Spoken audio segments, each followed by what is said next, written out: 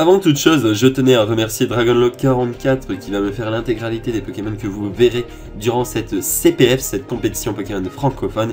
Et je tenais aussi à remercier Foxer qui euh, va me faire et qui m'a fait les miniatures pour cette compétition. Donc je tenais à les remercier tous les deux. Et maintenant, sans plus tarder, nous allons passer au draft de cette compétition. Nous allons voir les Pokémon que j'ai choisis pour former la team des Stalgaliens.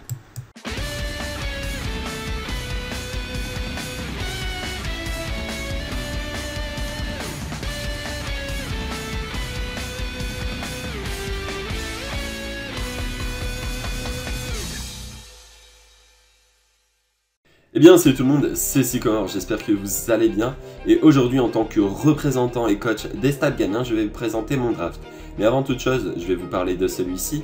Donc on avait le droit à 1300 points car il faut savoir que les Pokémon n'avaient pas tous le même nombre de points. Les Pokémon Overused, donc par exemple les Oyuran S valaient 250 points, comme Mega Tenefix et Mega Altaria, Demeteros, donc eux valaient 200, 250 points. Ensuite on avait les Ouran A qui valaient 200 points, Ouran B 150,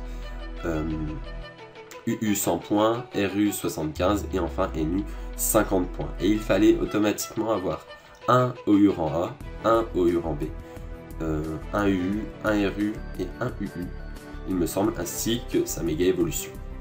Donc voilà ce qu'il fallait avoir. Et on y reviendra après. Et donc j'étais dans les derniers à choisir ma méga évolution. J'aurais bien aimé prendre méga Florizard mais je savais pertinemment qu'on allait euh, la prendre avant moi forcément, étant donné que je choisissais en avant-dernier. Et j'hésitais fortement entre méga Latias et euh, méga Tenefix. Et vu que méga Tenefix coûtait beaucoup plus cher que méga Latias, j'ai donc décidé de prendre méga Latias. Alors après coup, je me suis dit peut-être que j'aurais dû prendre méga Sizor. Mais je regrette pas mon choix. Non, non, je regrette pas méga Latias parce qu'il a un énorme bulk et aussi une grosse puissance de frappe. Donc c'est pour ça que j'ai décidé de le prendre. Et je pense que je vais pouvoir me faire plaisir avec lui. Ce sera un peu le capitaine de notre équipe parmi, euh, ses membres. Alors, ensuite, étant donné que j'étais dans les derniers à choisir ma méga évolution, autour d'eux, j'étais dans les premiers à choisir. Et je me suis précipité sur Melodelf qui était euh, OU rang A. Donc euh, euh, l'organisateur du tournoi, l'avait mis OU en A, donc je me suis précipité dessus. Surtout qu'actuellement il est OU, euh, en S, voilà. Donc il aurait dû valoir 250, il n'a valu que 200 points, donc c'est vraiment la bonne affaire. Parce qu'il a une grosse versabilité, que ce soit sur le plan défensif comme sur le plan offensif. Donc avec ces derniers, je vais vraiment pouvoir me faire plaisir. Je vais pouvoir jouer la version Calmine, la version qui pose des pièges de rock, donc une version Unaware, une version Magic Guard, bref, je vais pouvoir jouer sur, euh, toutes, euh, sur toutes ses qualités. En plus, il est de type fée, il a un très bon type. Donc pour mes adversaires, il va vraiment falloir se méfier des Mélodelphes. Car ce sera un rude adversaire. Et en parlant de rude adversaire, donc mes adversaires ont choisi leur Pokémon et ça revient à moi. Et j'ai donc décidé de choisir Suicune. Parce qu'une team qui n'est pas préparée à Suicune est vraiment une team qui, j'ai envie de dire, a de fortes chances de perdre, donc ce sera un Pokémon qui devrait être pris en compte par mes adversaires lors de leur team building. Et c'est aussi un Pokémon qui a énormément de bulk. Vous allez voir que les Pokémon que je vais prendre en général ont du bulk, savent tenir les coups, et c'est ce que j'aime aussi, et vous le savez. Euh, donc avec Suicune, il y a la version forcément Calmine. Et ça, si vous n'êtes pas préparé, eh bien vous êtes mort simplement. Donc c'est pour ça que j'ai décidé de le prendre. Et en quatrième choix, j'ai décidé de prendre Golé. Parce que Golé a accès à Sport, à Force. Et c'est un peu le Pokémon passe-partout, il passe très bien que ce soit en RU, en UU, comme en Overuse. Donc il sera s'adapter aux différents Pokémon de mes adversaires. Et à 75 points, le Golé, je savais qu'il allait partir assez rapidement. Donc c'est pour ça que j'ai décidé de le prendre aussitôt. J'ai bien fait. Donc voilà. Donc pour l'instant, j'ai les Pokémon que je veux à peu près. Et en cinquième position, alors euh, j'avais pas forcément prévu de le prendre et puis je me suis dit pourquoi pas, c'est Trousselin. Trousselin qui a un T-Wave prioritaire, qui peut poser les murs, qui peut poser les spikes, qui, peut, euh, qui a accès à tricherie, au cas où si mon adversaire voudrait un peu trop se placer, euh, qui a accès aussi à Toxic, bref, Trousselin c'est vraiment un Pokémon très intéressant. Et c'est pour ça que j'ai décidé de le prendre aussi, parce qu'il pourra gêner mon adversaire. Et c'est pour ça que je me suis précipité dessus. Alors, sixième choix. Alors, le sixième choix va paraître vachement étonnant. Mais je me suis fait voler ma reste et je me suis dit qu'il valait peut-être pas trop tarder sur celui-ci étant donné qu'il a pas mal de potentiel. Et c'était 133 euh, Gamer qui m'avait fait euh, redécouvrir le potentiel de ce Pokémon. Et c'est Charter. Alors pourquoi Charter Il a accès au PDR, il rapide spin, il peut feu follet, il a Lave, il a une énorme défense, il a des PV corrects.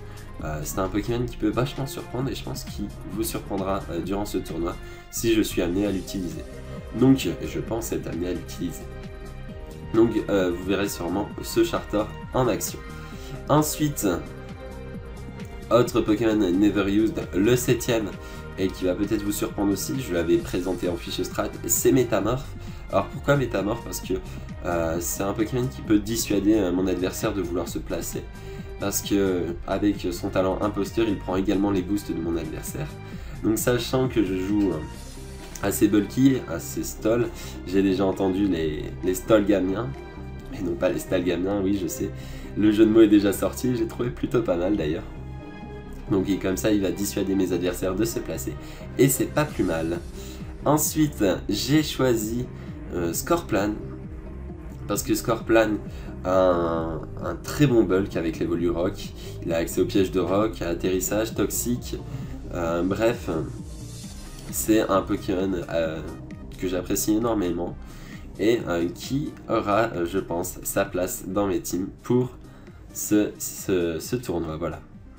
Donc après Scorplan, on repart aussi dans les, dans les tiers toujours plus hauts, j'ai envie de dire, avec Tornadus version Regeforce forcément, il pourra faire un bon combo, un bon combo, ouais voilà, j'arrive bien à le dire, ouais, avec euh, Golé, donc ce petit duo Regeforce qui sera très intéressant je pense.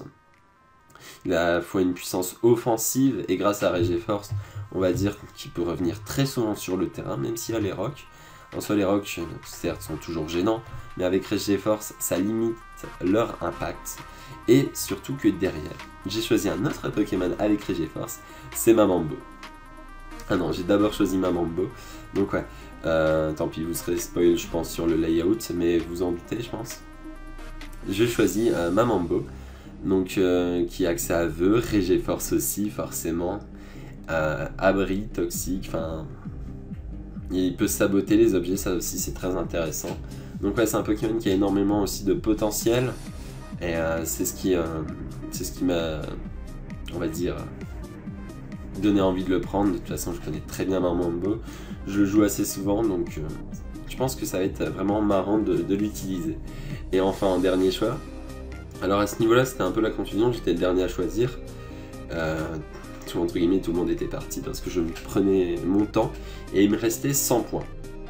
Et j'avais pas bien compris euh, la règle parce que je pensais que c'était un, une méga évolution, un OUA, un OUB, comme je vous ai dit, un underused, un rarely used et un NU qu'il fallait faire pour ces équipes pour affronter ses adversaires parce que sinon on va avoir tendance et euh, ce serait faux de le, de le, cacher, à utiliser que les overused et les underused. Ce serait un peu hypocrite de dire moi je vais prendre je vais prendre que mes NU et puis je vais affronter euh, du méga Altaria par exemple.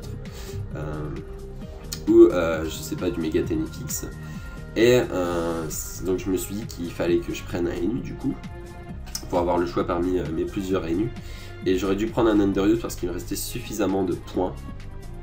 Et à ce niveau-là, j'ai été bête. Enfin, j'ai été bête. Surtout que la règle était ambiguë. Donc, du coup, j'ai pris un NU. J'aurais dû prendre un ULU, ça aurait été plus intéressant, je pense. Ah oui, c'est sûr même. Donc j'ai pris Grotanmorve parce que Grotanmorve, il a une excellente défense spéciale, des gros PV, une grosse attaque. Donc euh, c'est un Pokémon qui va avoir ses qualités. Et euh, je pense que je serai amené à l'utiliser plusieurs fois durant cette compétition. Donc voilà, vous avez l'intégralité de, euh, de mes Pokémon. Vous avez le choix de mes 11 Pokémon. Dites-moi ce que vous en pensez. Alors, euh, je trouve que c'est très défensif. Euh, je suis d'accord avec vous. Après, dans les teams de mes adversaires que vous verrez durant le tournoi, il y a quand même de grosses menaces. Notamment QM Black. J'ai énormément peur de ce Pokémon. Mais euh, on verra bien ce qu'il va pouvoir nous faire. Donc voilà, j'espère que cette présentation vous a plu, j'espère que vous êtes derrière les Stalgamiens. Ou les Stolgamiens, vu que le surnom est déjà sorti. Euh, n'hésitez pas à lâcher le hashtag Stalgamien Team Stalgamien, Team Psycho dans les commentaires sur Twitter. Et à, partager cette vidéo et à, me supporter durant ce tournoi. Ce sera pas un tournoi des plus faciles, mais j'espère compter sur votre soutien. Allez, c'était Sycomore, coach des. On se retrouve pour une prochaine vidéo. C'était. Bah oui, c'était la forcément. Allez, à la prochaine.